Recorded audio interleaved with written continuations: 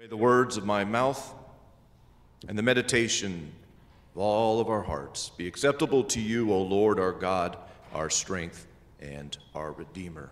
Amen. Please.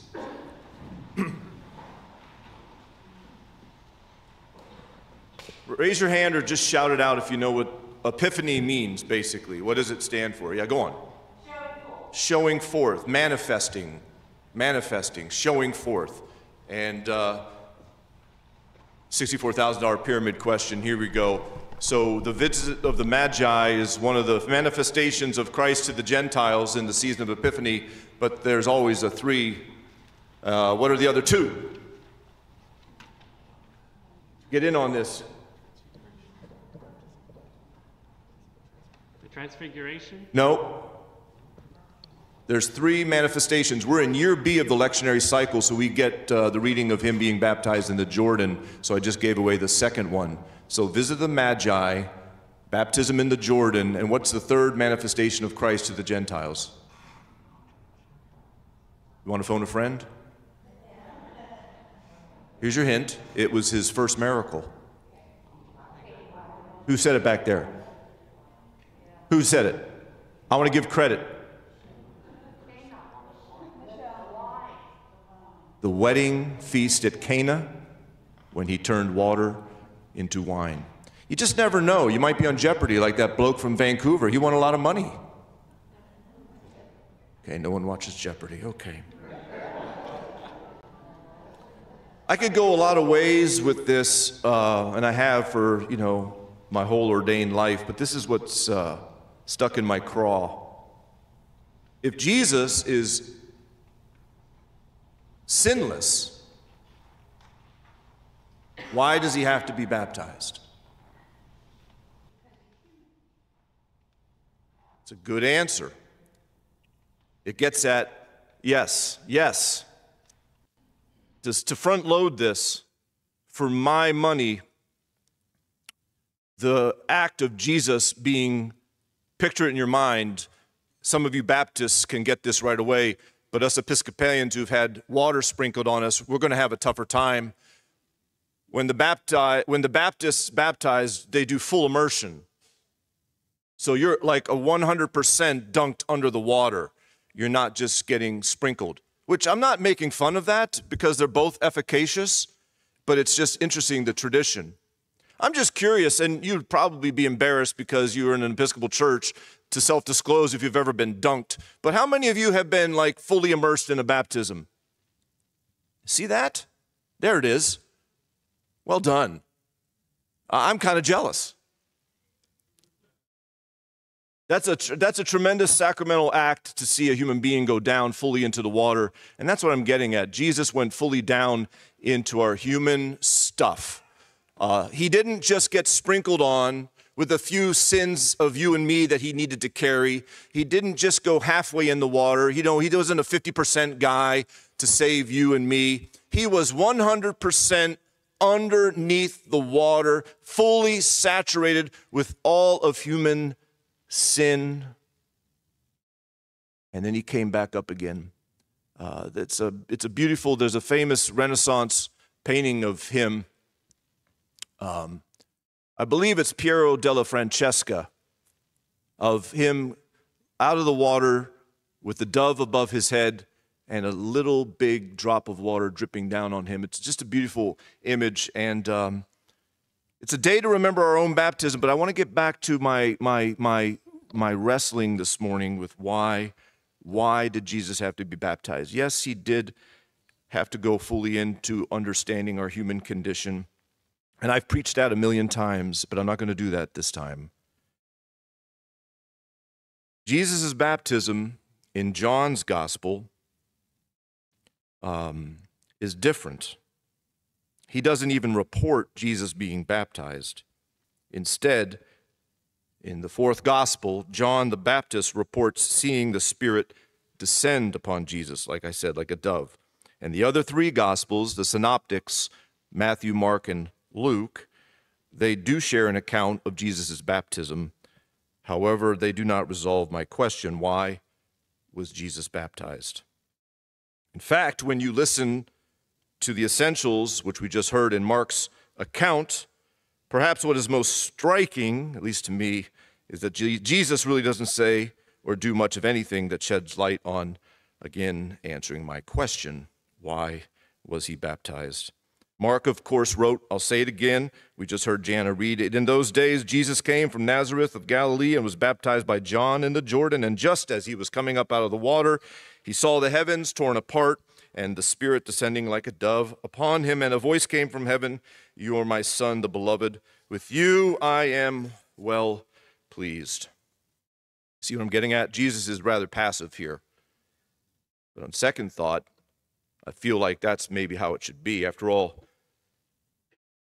there's nothing that you and I can do. This is really important to earn anything. And so Jesus' baptism, in effect, doesn't have him doing anything. You know, this is a, this is a, this is a nuance that I, I, I want North American Christians to understand because we're, we're formed, we're formed to achieve. Because if we don't achieve, we don't get a nice little pat from mom and dad on the back. Or pick your pick your superior person. And you know what, friends? That's a hell of a way to live. Always striving, always trying to win someone's approval. Did I get an amen there? Where did we learn that? Well, we learned it because we grew up in America. I, I commend to you the great if you break your leg, and I don't wish that upon you, but you're laid up for six months and you want to read a systematic theology, the best systematic theology since Paul Tillich's uh, three volumes on it is a Canadian. Jana, you know who I'm talking about. Douglas John Hall. Douglas John Hall wrote three big books systematic theology, pro- thinking the faith, confessing the faith, and professing the faith understanding Christian theology in a North American context. And he's actually the bloke who I steal from all the time when he says the hardest Christian to be on the planet today is a North American Christian because of all our baggage. But I digress. What do we have here? I sound like the guy in Cool Hand Luke. What we've got here is failure to communicate. Wow, you guys are asleep. Raise your hand if you know what I'm talking about. Cool hand Luke. There we go. Now we're back. What we got going on here is simply Jesus receiving God's blessing, receiving God's acceptance, receiving God's identity. This is what we effect get in our baptism, but I've been known to tell a Catholic grandparent on the phone at Hershey Medical Center that his daughter, now a Baptist, does not need her dead son, baby, drowned in the pool, to be baptized because she knows he's with Jesus. And the grandfather, who's very Catholic, is screaming at me on the phone, For the love of God, please baptize my grandson. And I had to say to him, I'm sorry, sir, your daughter, his mother, and husband, your son in law, have told me specifically it's okay. He's with Jesus. And I could hear him screaming at me as I said, I, I need to hang the phone up now, sir. I'm sorry. But he said, I could hear him saying, But he's not with Jesus until he gets baptized. I hope I'm not triggering some former Catholics here, but you're in an Episcopal church, and we do not believe that if a baby dies accidentally, they go to limbo. They do not. The God that I worship knew that baby when that baby was knit in its mother's womb and will know that baby to the end of time. And there's nothing that can separate that baby from the love of God, not even a drowning in a backyard pool. Do you get me now? So there's nothing we can do to receive grace upon grace. We heard it last week in John's gospel. And this is the beautiful thing about why I think Jesus was baptized. He wanted to model for us what it means to be accepted, what it means to be called a beloved child of God, even when the world wants to snatch that away from you and tell you you're not good enough. Our identity is in Christ. We are heirs in Christ. We are a new creation in Christ. It's a new year, people. We need to be a new creation. We can't continue to be stuck in our stuff. We need Jesus to break us free, and his baptism today, loud and clear, says, It is time, my child. It is time for you to hear these words and to take them from here 18 inches to here. That's what I've said before is the biggest speed hurdle or sleeping policeman, as they say in England. Don't you love that? Don't you love that? Speed bumps in England are called sleeping policemen. I told my son in Seattle, the sleeping policeman who got him for a $250 fine going three miles over the limit in a school zone is 250 bucks. Watch your speed. Anyway, here is the connection to our own baptism. I just told you what it was. I'll, I'll say it again. It's the fact that Jesus, when he heard and he came up out of the water, he heard, Here is my son, my beloved, with whom I am well pleased. How, here it is, here it is, here it is. I need your ears. How all of us have longed to hear those words from our earthly father or our earthly mother. Mm. Mm. Mm. That's it right there. I can testify, being ordained for as long as I have 26 years and 27 years and counting, whatever it is. That's a lot of counseling. I'm looking at my girl right there. That's a lot of counseling, you know. And isn't it true that attachment issues or overly fused dysfunctional relationships with our parents, our biological earthly parents, bites us and rears its head over and over and over and over. I'm, I'm telling you, and Jesus, that what I'm getting from the Holy Spirit right now is to share with you a snippet of a powerful book from a powerful brother whose ministry is older and wiser than mine, and he has dedicated a lot of it to recovering and rediscovering the ministry of blessing, which, which for all of us, and this is the truth, all of us have daddy issues. All of us have daddy issues. And I'm emphasizing daddy because moms are not too far behind but I'm a mama's boy, and I'm just going to give a nod to moms do a little bit better job than dads when it comes to saying to the child, I'm proud of you. I love you for who you are. The brother I'm going to quote from is Russ Parker. That brother is from Merseyside, Birkenhead. Val knows him. I know him. You love him. We're going to bring him back soon. We've been praying. If Val, Russ, if you're watching, we're praying and we hold you and your beloved Roz, your wife. We've been praying for his wife who's been fighting cancer for years now, and she's still with us.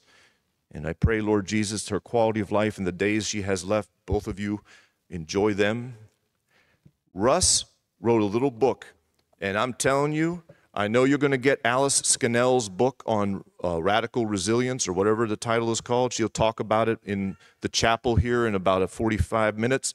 But this little book, if you want to get your new year off to a great start, Russ Parker, Rediscovering the Ministry of Blessing. What I'm getting at is when Jesus heard his heavenly Father bless him and give him acceptance and give him identity and give him commitment and give him blessing, this is, in a sense, at the core of what we pilgrims are longing for. And so Russ says it like this Brother Russ, you are blessing me, brother. He says it like this. And again, I'm going to pick on the dads here, and that's not to let the moms off the hook but you can see where I'm going with this because actually he has a whole chapter on the mother's blessing, but we're going to stick with the father's blessing. Otherwise, we'll be here all day, and you don't want that. Okay, here it goes. Russ writes A father's role is to protect and to provide and to bless and to establish his children's identity. And maybe your father did that for you. Maybe he didn't. Perhaps he abandoned you or abused you sexually or physically or verbally or emotionally. Maybe he died before you were ready or left you for some other reason. Maybe he made you his pet, delighting in you so much that you haven't been able to break away to be your own person. Perhaps he was distant, removed, and showed no interest in you. Perhaps he terrified you with his anger and rage. Perhaps he made you the scapegoat for all his troubles so that you suffered for things other people did to him. Perhaps he blamed you for things that you were not your fault. Maybe he worked too much or he played too hard and he never spent time with you and so didn't join in with your games and your dance recitals and your birthdays and your achievements. And maybe he spent too much time with you, forcing you to become the athlete or the student or the doctor or the lawyer or the preacher you never wanted to be. And perhaps Perhaps he left you in the care of hurting, dangerous people. Maybe he didn't see or believe you when you went to him for help, and perhaps he was just too preoccupied with himself to see anything you wanted or needed then. And I hope, Russ writes, I hope you're willing to hear these words of a broken father speaking to you.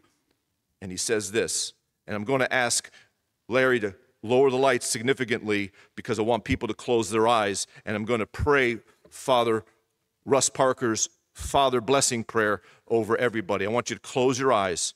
This is important stuff we're doing here. I'm saving you a lot of money by not going into therapy. The people who laughed probably need to go into therapy.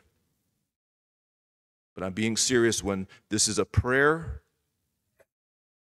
This is a prayer that will set your heart in a right place and allow you to begin this journey in 2024 to trust Him more but you got to get in touch with a father's blessing. And so father father parker writes this with your eyes closed. He says he says here's the disclaimer. Father parker says i realize i am not your father. Tom warren i am not your dad either. But allow me to stand in for him and in the place of your father who may or may not have said any of these things.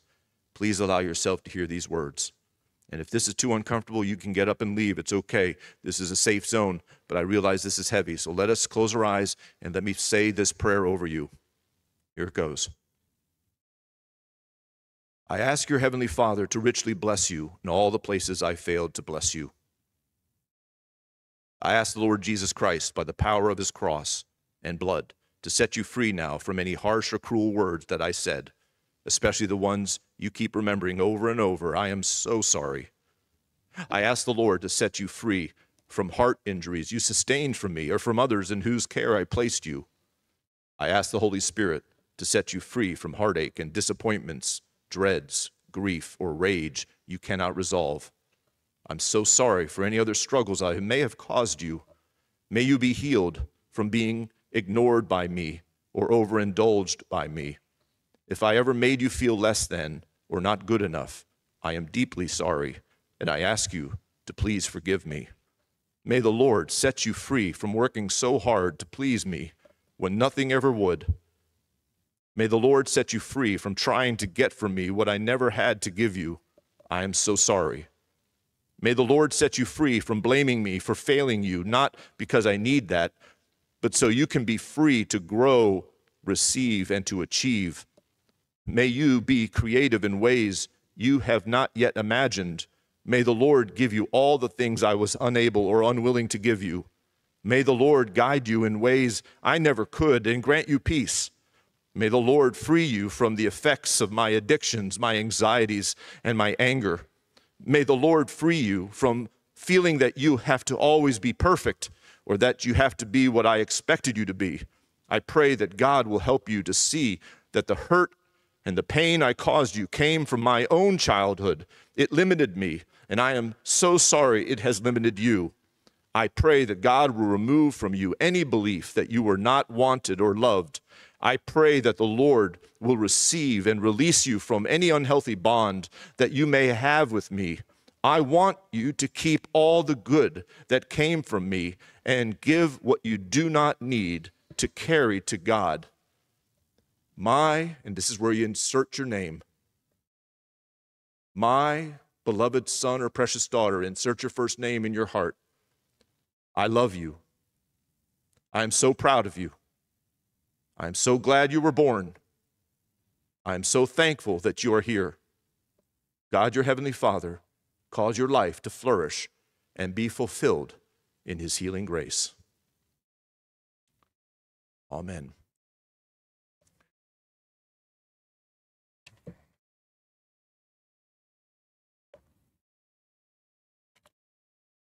I should say as I sit down, because Jana and myself, and I know people in the in the counseling therapy world would love me to say, if you want and need to talk to somebody, Jana and I are here. And if we cannot handle what you are bringing through the door, I am the first to say, and I know Janice, I'm going to put words in her mouth, we will find a, a professional to help you work this out. You deserve it. You deserve it. In the name of Jesus, trust Him more in 24. Thank you, Lord. Amen.